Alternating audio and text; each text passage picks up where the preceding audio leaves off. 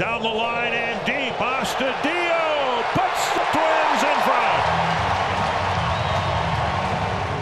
Home run number six for La Tortuga. Got a cutter, didn't get, didn't let it get inside. Threw his hands in, threw the big end of the bat at the ball. You had some nice extension for an inside cutter like that, and flipped it right in the seats. What a what a nice swing and a nice at bat by La Tortuga.